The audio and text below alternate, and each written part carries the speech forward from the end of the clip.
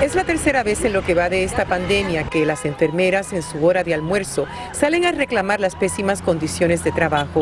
La Asociación de Enfermeras celebran vigilias semanales como esta para recordar a las más de 100 enfermeras que han fallecido.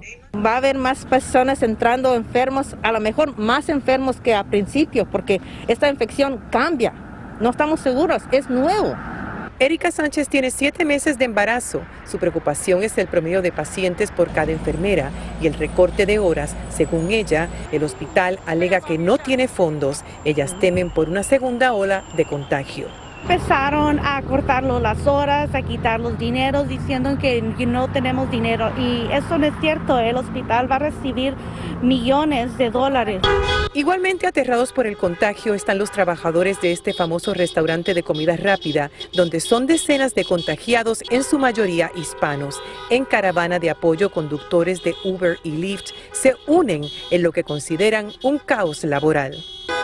No solamente hay una crisis ahora porque el COVID-19 y PPE, pero todavía había una crisis adentro de este McDonald's por esta corporación no dando de protección a los trabajadores allí en, en la tienda. No somos desechables, somos seres humanos, seres humanos que estamos al servicio de la comunidad.